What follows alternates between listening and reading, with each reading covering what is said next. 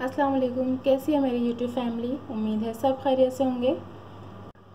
आज हमने अपने किचन में चॉकलेट मूस बनाया है। गर्मी में ये रेसिपी बहुत ही मज़ा देती है खाने में और सब बहुत शौक से खाते हैं। तो चलें, इस मज़ेदार रेसिपी को बनाना शुरू करते हैं। इससे पहले अगर आपने मेरा चैनल सब्सक्राइब नहीं किया है तो मेरे चैनल को सब्सक्राइब कर दें और अगर वीडियोज़ अच्छी लग रही हैं तो थम्स अप दें और फ्रेंड्स एंड फैमिली में मेरी वीडियोज़ शेयर करें। साथ में जो बेल आइकन है, उसे ज़रूर प्रेस कर दें ताकि जो भी मैं वीडियोज़ अपलोड करूँ, वो सबसे पहले आप तक पहुँच जाए। तो चलें, ये मज़ेदार चॉकलेट मूस बनाना शुरू करते हैं।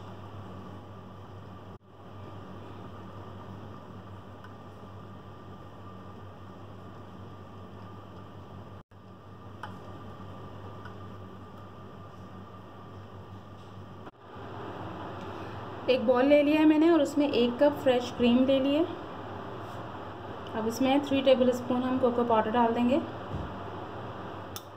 और इसको अच्छी तरह से मिक्स करेंगे।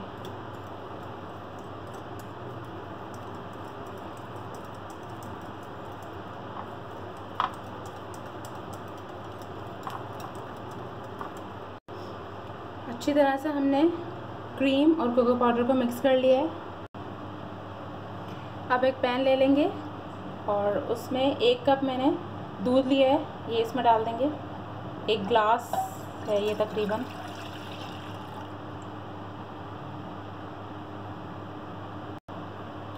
टू टेबल स्पून कॉर्नफ्लॉर डाल देंगे। एट एट टेबल स्पून मैंने शक्कर ली है, वो इसमें डाल देंगे। शक्कर आप अपने टेस्ट के मुताबिक कम ज़्यादा कर सकते हैं। अब इसको अच्छी तरह से मिक्स कर लेंगे।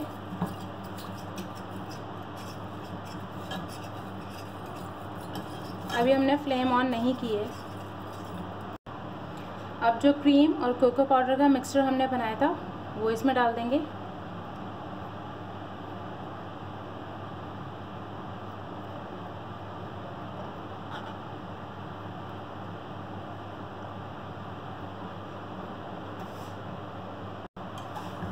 मिक्स कर लेंगे इसको अच्छी तरह से। अब हम फ्लेम ऑफ़ कर फ्लेम हम अपनी ऑन कर देंगे।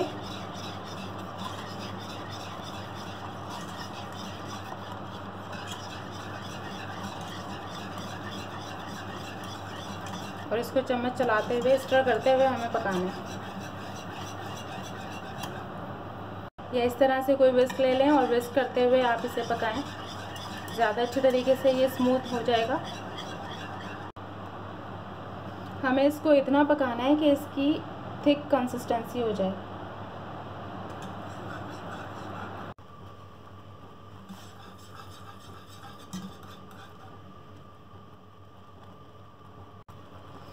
अब ये तैयार हो चुका है, अब हम फ्लेम ऑफ़ कर देंगे। फ्लेम ऑफ़ करने के बाद आप चाहें तो इसमें चॉकलेट्स कुछ ऐड कर सकते हैं। मैं चॉकलेट ऐड नहीं कर रही। अब एक बोल ले लेंगे इस तरह का।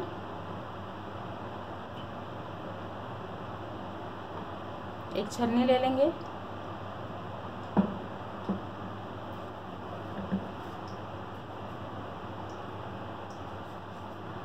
और इसको इस तरह से छानते हुए पोर करेंगे।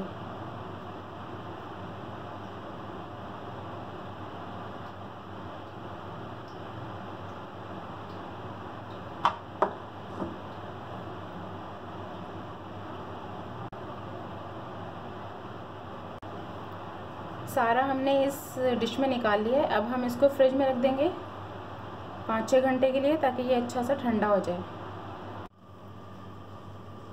चॉकलेट मूस को हमने फ्रिज में रखा था, अब ये अच्छे से चिल्ड हो चुका है। अब मैं इसके ऊपर ये स्प्रिंकल्स डाल दूँगी थोड़े से।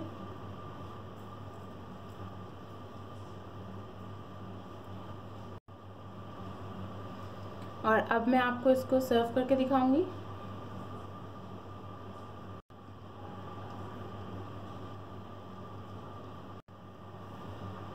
ऊपर से स्प्रिंकल्स डाल देंगे।